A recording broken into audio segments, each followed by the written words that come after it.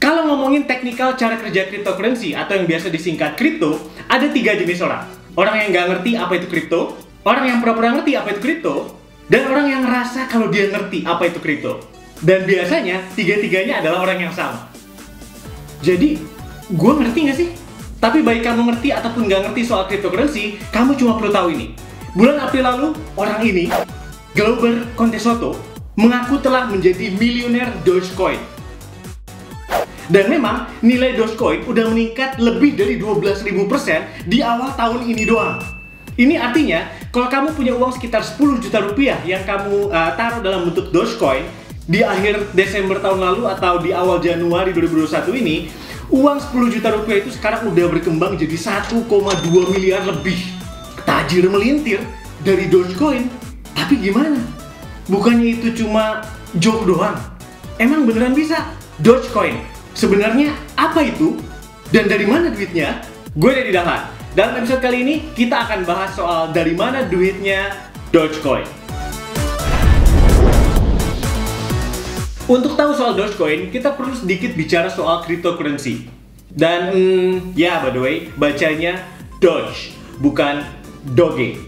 Doge. Doge. Doge. Cryptocurrency adalah mata uang digital atau representasi digital dari mata uang untuk digunakan sebagai alat tukar atau transaksi uh, di vendor-vendor yang menerima. Umumnya vendor-vendor online atau di internet. Gampangnya, bayangin kamu kayak beli eh, koin-koin uh, di arcade center untuk main video game kamu menukar uang asli untuk beli koin itu. Dan seperti itu juga, kamu menukar uang asli kamu untuk membeli cryptocurrency sesuai dengan harga jual kripto itu pada saat itu. Walau udah dimulai sejak tahun 2009 dengan Bitcoin, sampai sekarang masih banyak orang yang sulit nerima keberadaan cryptocurrency atau status cryptocurrency sebagai mata uang atau alat tukar yang sah. Karena masih banyak yang menganggap bahwa cryptocurrency ini nggak punya nilai atau value yang real. Walaupun kalau gitu sih, berarti nggak jauh beda sama rekening kita pada akhir bulan ya. Nggak punya nilai tukar yang real. Terus banyak juga yang mempertanyakan kripto ini pusatnya di mana? Siapa yang memegang rekening kripto kita? Siapa yang mencatat data keuangan cryptocurrency kita? Nah ini bedanya antara mata uang konvensional dengan cryptocurrency. Dalam cryptocurrency, nggak ada satu bank atau satu institusi atau satu pihak yang memegang data keuangan kita. Kalau rekening kita di ATM tadi itu, catatan isi, saldo rekening, dan jumlah atau catatan transaksinya itu dipegang oleh satu pihak, bank. Tapi dalam cryptocurrency, dengan teknologi blockchain-nya, database rekening kita ini disimpan bukan dalam satu komputer atau satu server, tapi dalam sebuah network komputer atau server dalam jumlah banyak, dan terus saling mengupdate data transaksi, history, ataupun status rekening kita. Nah, Cryptocurrency terbesar saat ini kamu pasti tahu dan udah sering dengar namanya yaitu Bitcoin. Sementara Dogecoin itu sebenarnya dibikin justru sebagai joke, plesetan dari Bitcoin dengan logo uh, meme anjing Shiba Inu dan dengan teks website yang menggunakan Comic Sans. Comic Sans dong, dan bahkan dibikin di bawah 3 jam dengan mengcopy paste programming dari Bitcoin. Jadi situasi ini kalau dipikir-pikir sebetulnya setara dengan kalau ada orang Bandung yang mendadak bikin mata uang dan disebut duit anjing. Duit anjing. Yang disebut duit anjing. Oke, nah kalau gitu dari mana duitnya Dogecoin? Cara pertama sebetulnya tentu adalah dari transaksinya. Karena cryptocurrency mengalami apa yang disebut pertukaran atau trading, ketika ada yang membeli cryptocurrency dan ada yang menjualnya, maka tentu harganya akan naik turun sesuai dengan demand dan supply. Sebagaimana forex, saham, emas, dan lainnya. Di sini, kamu akan dapat untung dari selisih dari harga beli kamu dengan harga jual kamu.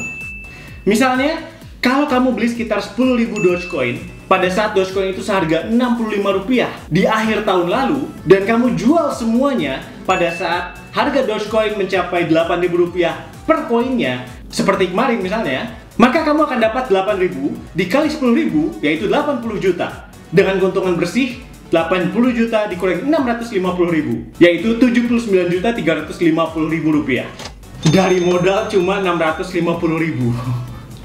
Nah, sebelum gue bahas kenapa angkanya bisa nggak masuk akal gitu, kita masuk ke cara kedua untuk dapat uang dari Dogecoin. Cara kedua untuk dapat duit dari Dogecoin sama dengan seperti di Bitcoin atau cryptocurrency lainnya, yaitu dengan mining.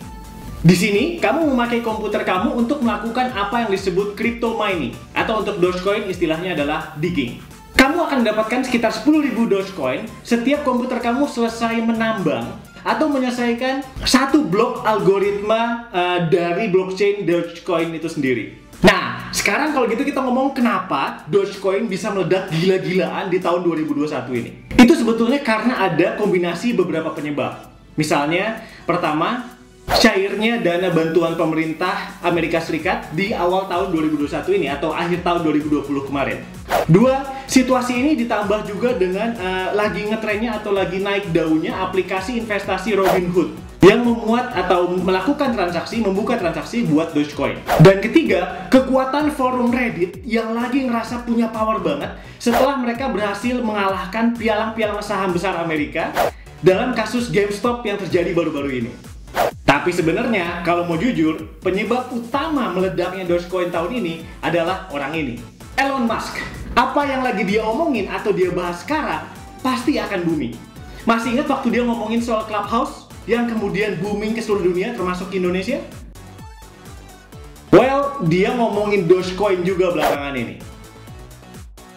Dan ini melejitkan harga Dogecoin gila-gilaan. Gue masih nungguin sebetulnya untuk Elon Musk ngomong uh, nge-tweet bahwa dia suka channel YouTube gue sebetulnya. Jadi sekarang pertanyaannya, apa kamu perlu ikutan demam Dogecoin ini? Well, kalau menurut gue, semua uh, investment atau semua cryptocurrency punya potensi tertentu ke depannya. Jadi secara umum, gue nggak bisa menyarankan apakah sebaiknya lu ikutan uh, invest di Dogecoin atau enggak. Karena bahkan Elon Musk sendiri pun bilang bahwa kalau kamu memang mau melakukan ini dan terlibat dalam uh, investasi Dogecoin, lakukan dengan hati-hati. Karena pada akhirnya dunia investasi selalu ada istilah high risk, high return. So that's it, ada dua cara untuk kita dapat duit dari Dogecoin. Satu, dari trading pasar investasinya yang lagi meledak dan melejit gila-gilaan saat ini. Dan dua, dari crypto mining. Tapi ya, percuma juga kalau kamu nonton ini dan sibuk mikirin ini di akhir bulan pada saat rekening kamu mungkin lagi fiktif. Gue dari Dahan, bye-bye.